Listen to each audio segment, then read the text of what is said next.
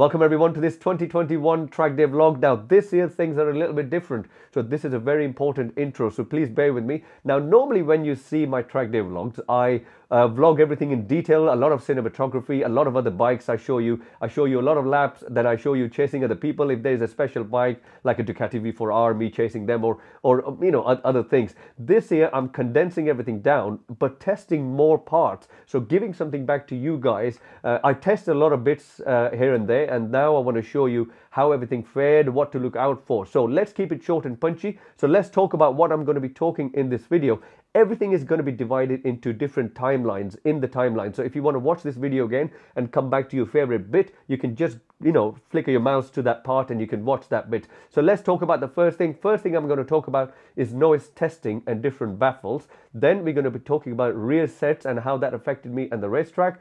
Then we're going to be talking about Brembo RCS uh, brake ratios. Then we're going to be talking about the gearing ratios. And then EBC brake pads, EBC GP FAX pads versus the Brembo Z04 pads, how they are coming along. Then we're going to be talking about the Metzeler TD Slick compound tire, which I've been testing since end of last year. And then we're also going to be talking about my lap times, certain things I learned about from the uh, NASCAR video from uh, Morbidelli, how they helped me on this track, a lot of other crucial things. So please stay with me uh, on this video. And now I'm going to move the video to the track and do a proper intro, and then we're going to talk about everything in detail.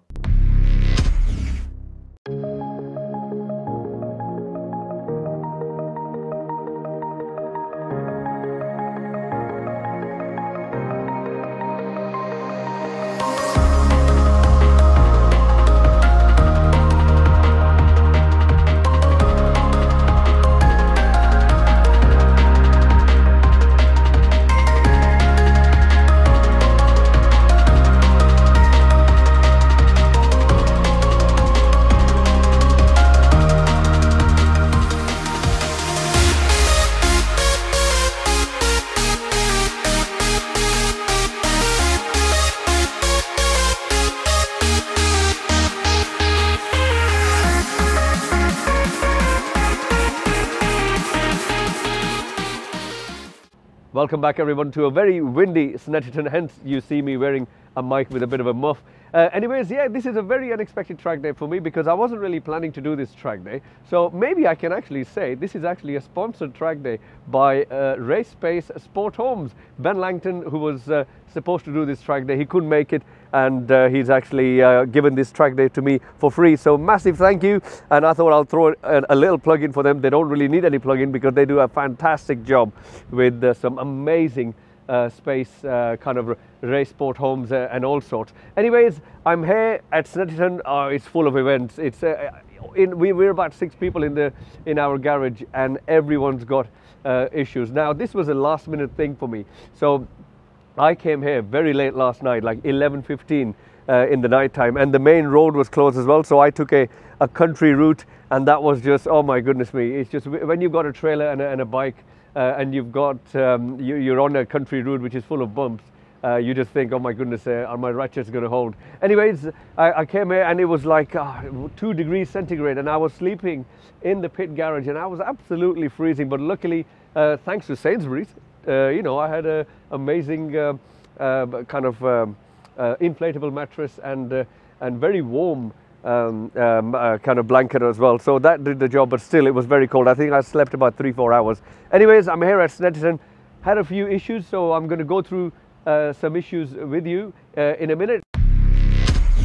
Welcome back guys. So let's go through all the points which I mentioned in the intro in detail. So number one was noise testing. So I'm going to show you some GoPro footage in the morning. You need to excuse me here because in the morning the GoPro was just overexposed. Too much brightness. I don't know why. I have I have no idea. I slept in the garage. It was one degree. I don't know if was it the cold or what. I no idea. But later on it just sorted itself out absolutely fine. So noise testing if you've got an Aprilia RSV4 or an Aprilia RSV4 RF or a Tuono, if you've got a, a Akrapovic slip-on, which a lot of people have, and you've got a small baffle, you're going to be fine. 102 decibel every time at 5,000 RPM, you're going to be okay. If you've got a Ducati V4, oh, by the way, if you've got the longer baffle, it's going to be 100 decibel or 99 decibel. So that's the longer baffle with that same Akrapovic slip-on.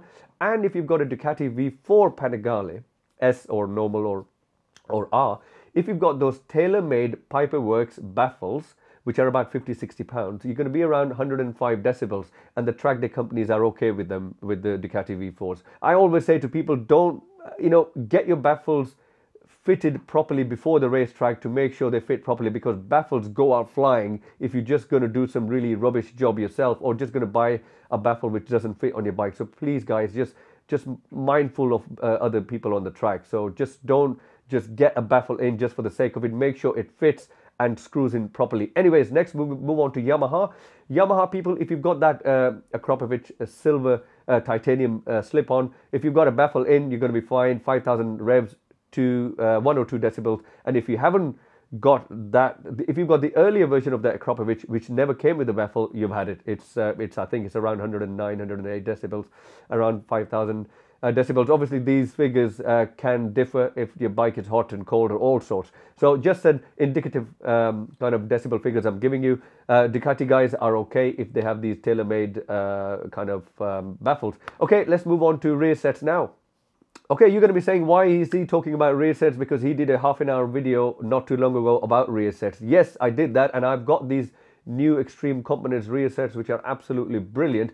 But what I really want to tell you um, in this clip is in the morning, let me show you footage actually. Excuse the over brightness. Uh, you just listen to it. You just have to listen to what the bike is going through, and then I'll tell you what happened.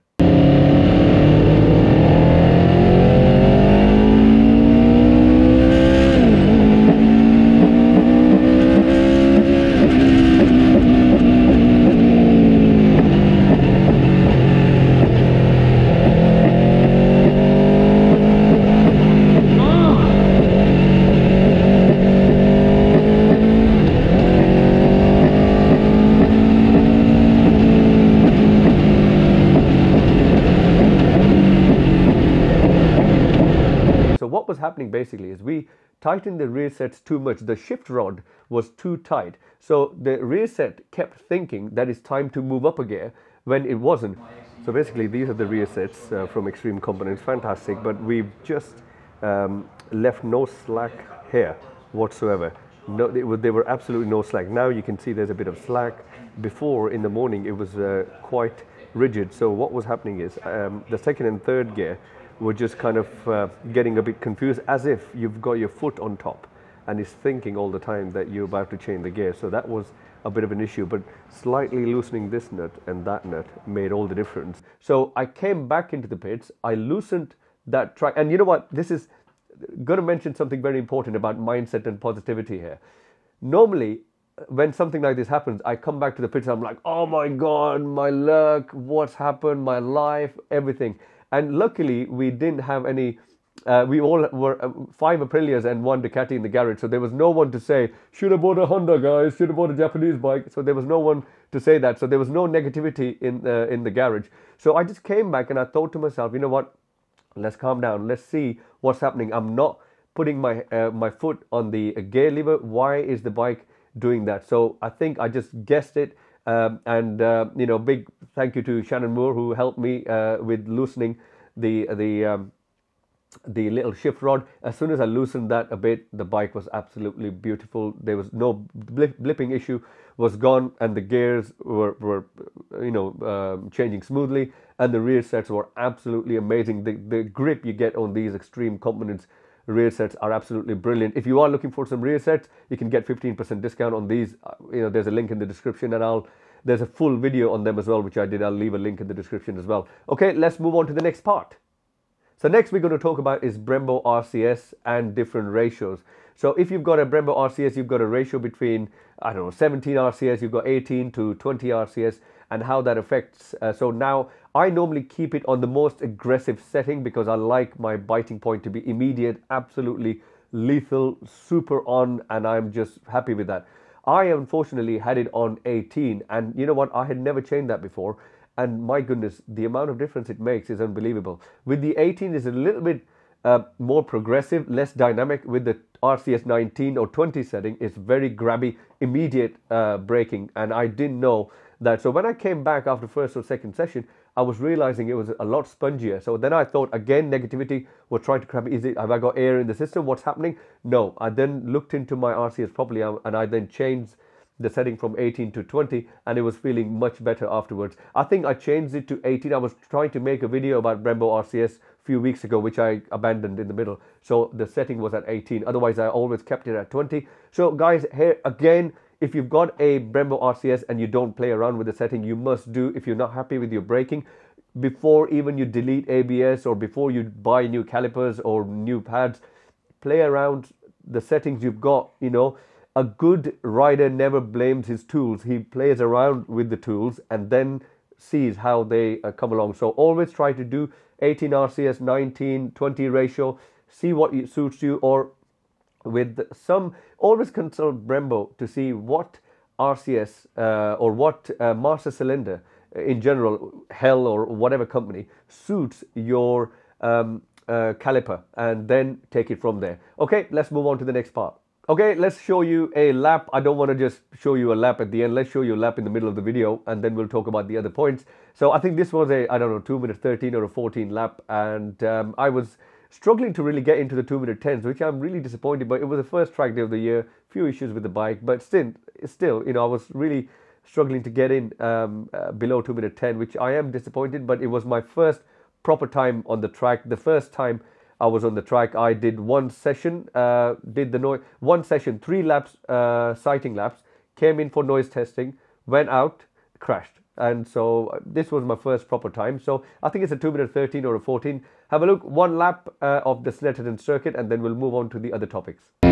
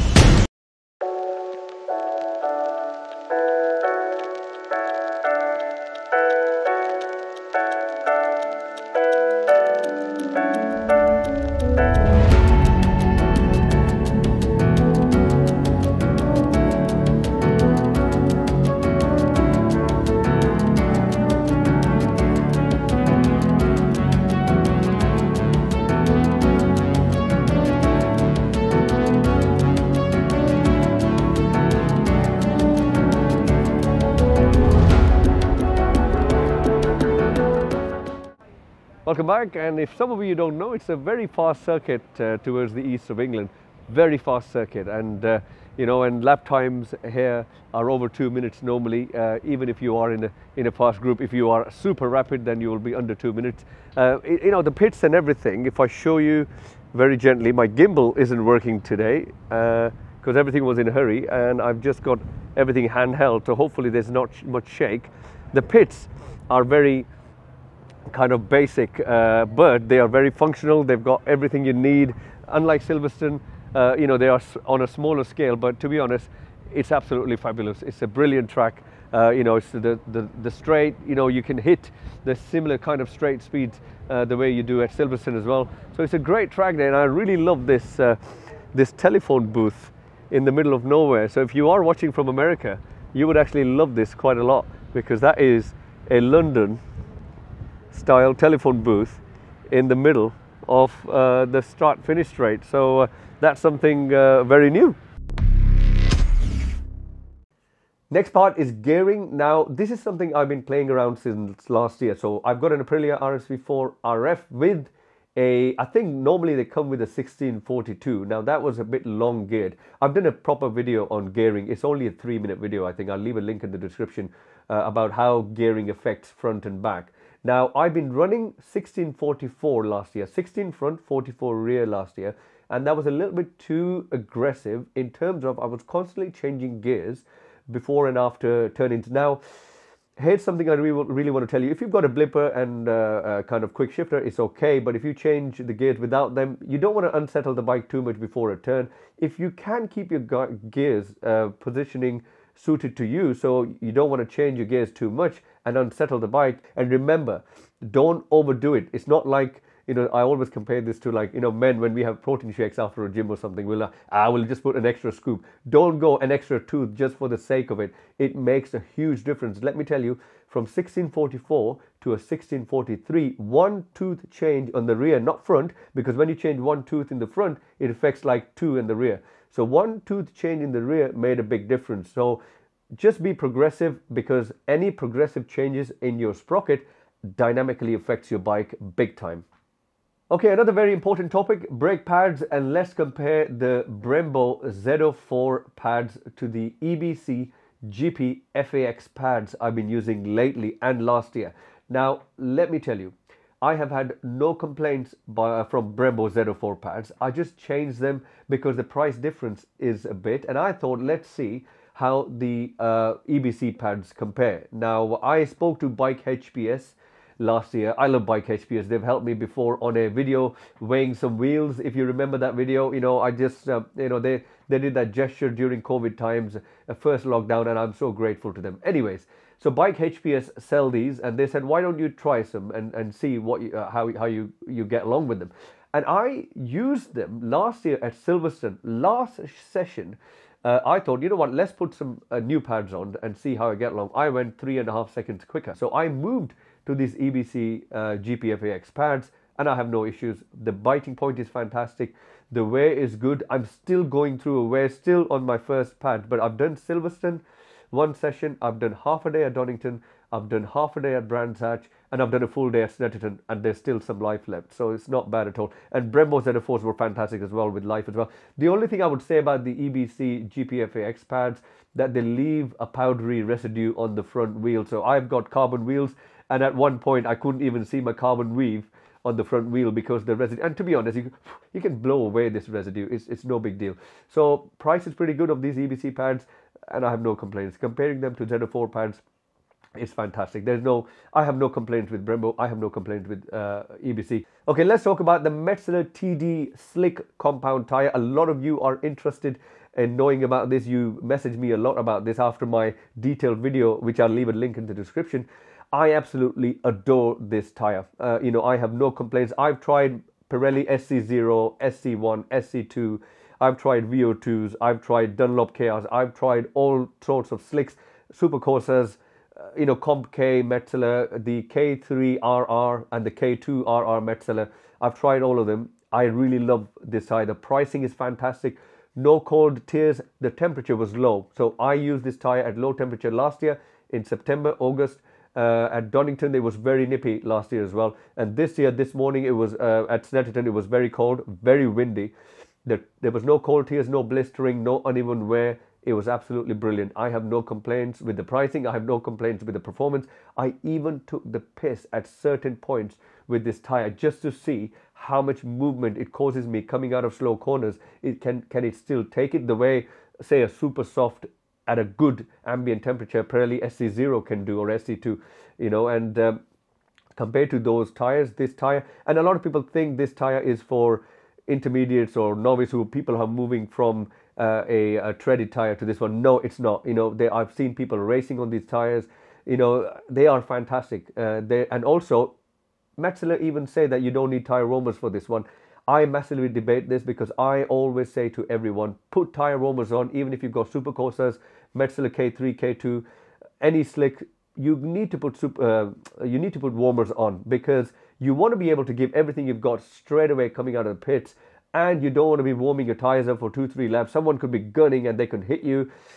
Just you don't want to be wasting time. Just put warmers on, you know, stress free. There's no issues and go. Uh, this tire warms up pretty good. If you are scared that you're not able to maintain heat in your tires, don't worry. This tire is absolutely fantastic. A detailed video I've done on this tire, link is in the description.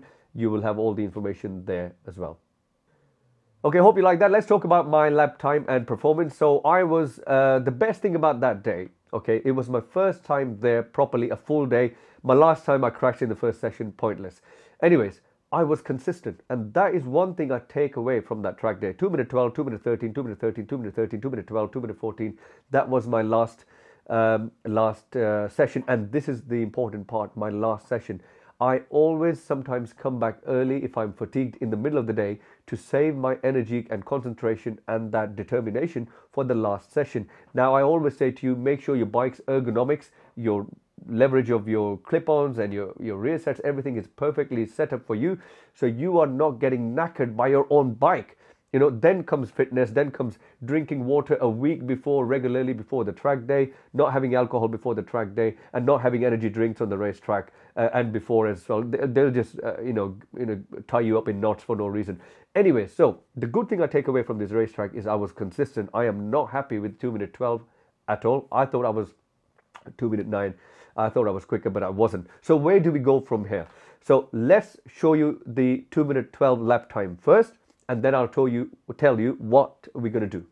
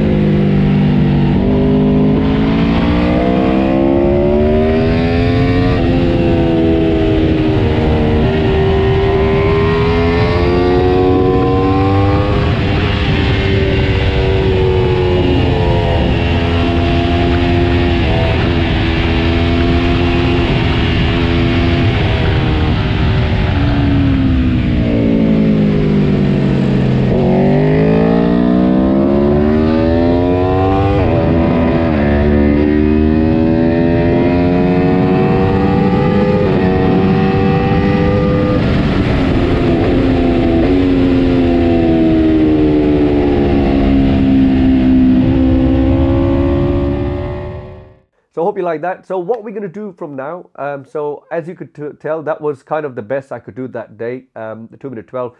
Now, the best thing about I love, I am very lucky to be living in this amazing country. You know, I respect UK so much. We have some amazing racetracks, we have some amazing venues, we have an amazing motorsport background. But most importantly, what we have is the the coaching help out there. We've got people like Dean Ellison, we've got people like Mike the Spike Edwards, we've got uh, not so fast Gary Walton, uh, chap, we've got uh, Dale Sykes, we've got loads of coaches in this country and you can actually send it might cost you sometimes and you can send your footage to them and they can coach you. And they can coach you online. They, you know we are living in tough times at the moment covid and all. So you can get online coach. So that's what i'm going to do. You know when we are uh, driving on the road we need a license so we get coached. The same way with the road biking we need a license so we get coached but when we go on the racetrack we just think we know everything we hardly get coaching um, you know sometimes and uh, I think it's so important to get coaching when you are helpless, when you are thinking,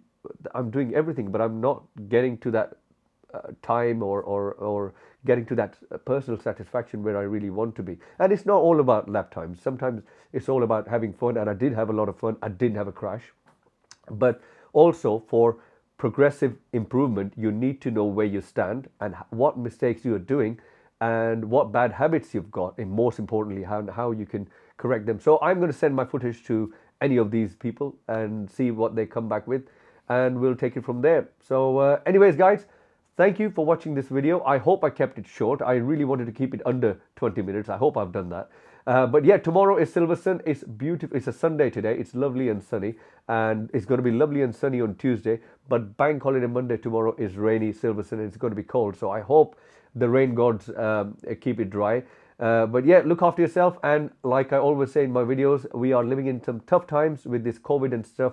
Look after people around you. There's a, people, a lot of people going through some mental turmoil uh, with all sorts. So listen more and you know watch out for people who are going through some tough time and just put an arm around them and just look after them. Um, I've also launched my website, so do check it out in the description. A lot of you asked for some merchandise. And I've also got some quirky track day slogans on those t-shirts. I spent a day thinking about some some stuff. And you know what? In the comment section, tell me some nice quirky slogans I can put on t-shirts so I can put that on my uh, you know I just thought about that now yeah in the comment section tell me some nice quirky like oh will it fit in a caddy something like this uh, put some slogans in the comment section so I'll put them on the t-shirt and I think the t-shirts are t-shirts are about 20 pound including VAT um, so yeah Check out my website. You will find that interesting as well. Look after yourself, guys. Take care. See you. Bye.